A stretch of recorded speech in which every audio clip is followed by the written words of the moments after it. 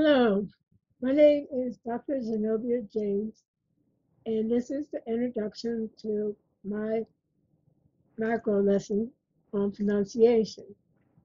The micro lesson takes the assessment section, and it has the assessment, and then for the homework discussion, it's the homework assignment.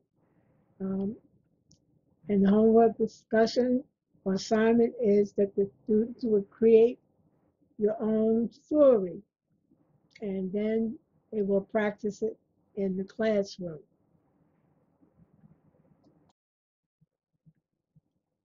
The instructional events that was used for this micro uh, lesson is produce and demonstrate proficiency, and this is by practicing the correct pronunciation of the R and L words from a word list that I have provided to the students or the learners.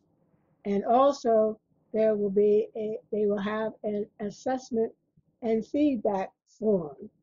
Uh, the learners will use the assessment form to check the words that they hear or heard from other learners uh, as they read their story.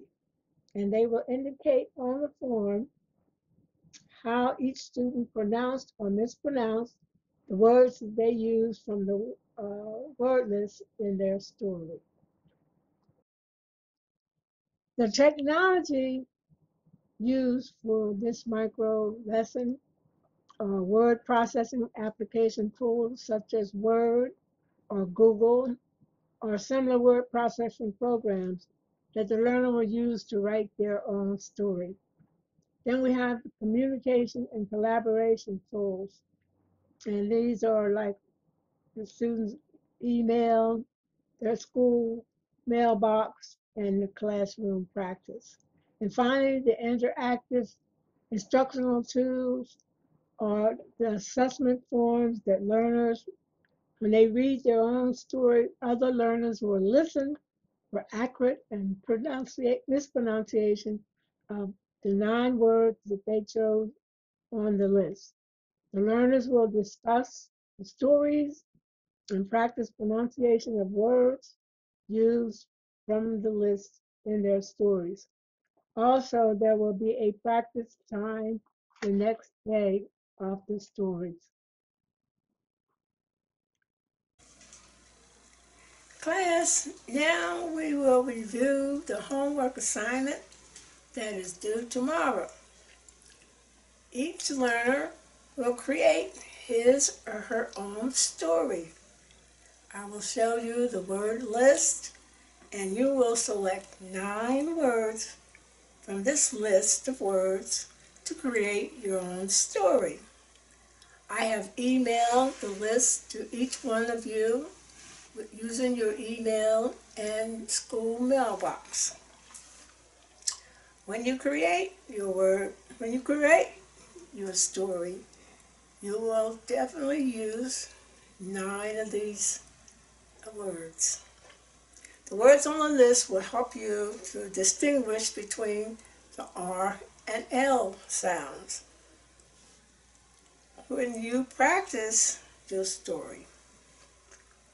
I suggest that you practice with a family member, a friend, or a student before you read your story in class. When you create your own story, you will choose nine words from the list before, below. Create a story using these words in any order. Be prepared to share your story with the class.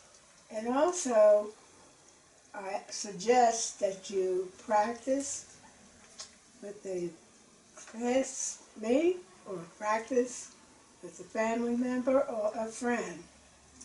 These are the words that you will select nine words from. You have R words and L words, and you're learning to listen to the sounds of R and L.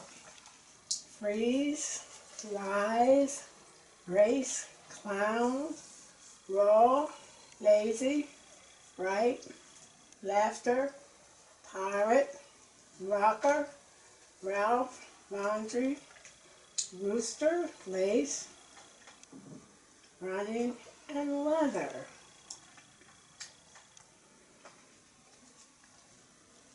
All the words that are on this list will be on this form we are uh, practicing reading and speaking and listening.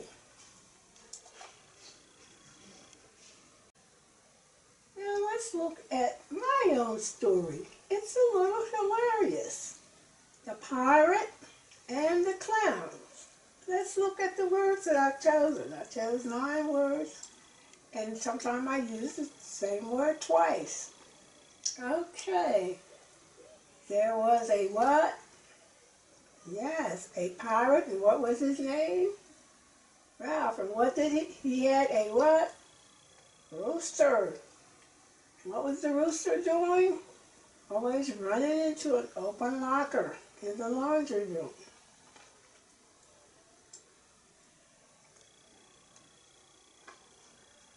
One day the clown, clowns saw the rooster, yes, running. And they were filled with, yes, laughter because of the rooster's actions running into the locker. The clown said they should have a race between the rooster and the pirate to see which one of them would win the race. Okay, it was cold outdoors, and the pirate said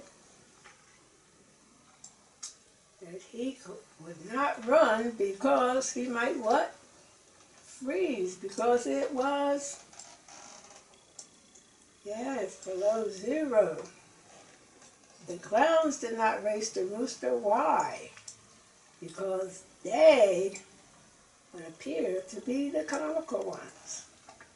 Now that gives you an idea of how you can write a short story and it should be at least two paragraphs and have six sentences. It should be typewritten,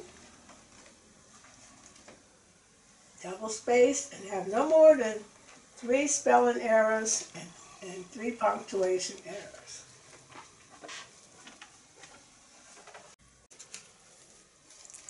As you write up your paper, you should have your name, the date, and the topic at the head of the paper.